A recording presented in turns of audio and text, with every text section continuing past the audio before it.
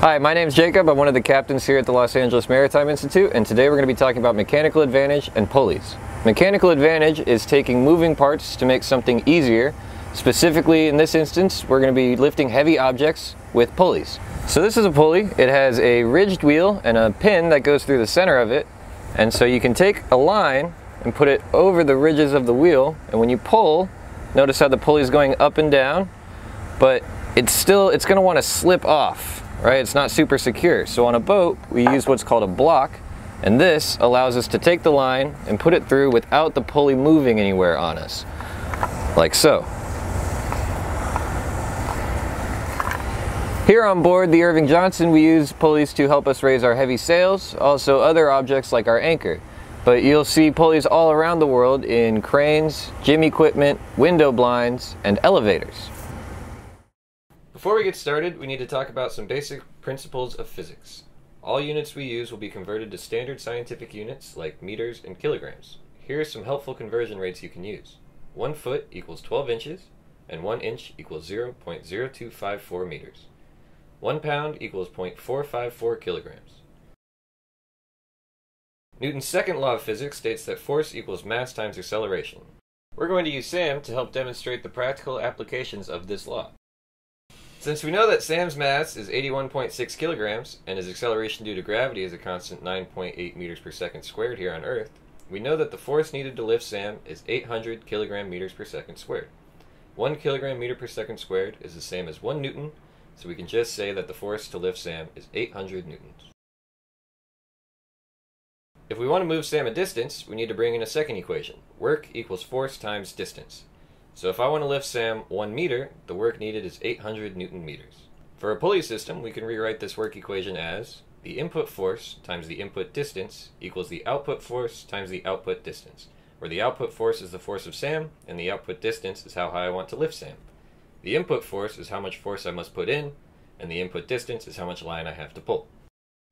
Now we're going to try to put pulleys into action. So we're going to try to lift our deckhand Sam here with a single line going up to a single pulley all the way up the mast. Are you ready, Sam? Aye, sir.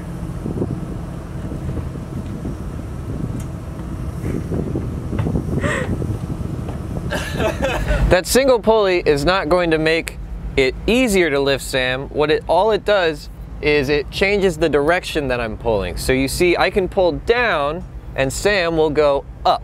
So that is the point of that pulley up there. It is not making the work any easier for me.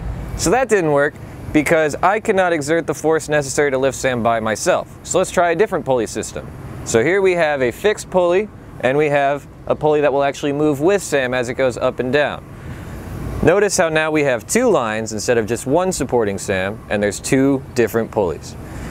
Each line is going to share the load of Sam, and as I pull, it should theoretically be twice as easy for me to lift him. But what that means is I'm going to have to pull twice as much line through the entire system. We're going to have Sam measure here at our output distance, which is? Roughly 4 feet and 7 inches. 4 feet 7 inches, so that's 1.4 meters. Now if I put my hand here to mark the starting point, we're going to measure the input distance, which if our theory holds will be double our output distance. So what do you get for that, Sam? Yep, four feet, seven inches. Times two, which, and that's gonna give us in meters, oh, about 2.8 meters. The equation we can use for this is the input force times the input distance equals the output force times the output distance. And you'll see, I will be able to lift Sam. We know that the output force, or the force to lift Sam, is 800 newtons, and the output distance is 1.4 meters, which is how far Sam actually rises. The input distance is 2.8 meters, which is how much I have to pull. Now with the known values we've given you, try to solve for the input force, which is the amount of force I had to put in to lift Sam. So we're back where we started, but this time, instead of just having one pulley, we have five pulleys. So now I have five times the mechanical advantage that I had to start, which means it'll be five times as easy for me to lift Sam, but I'm gonna have to pull five times as much line.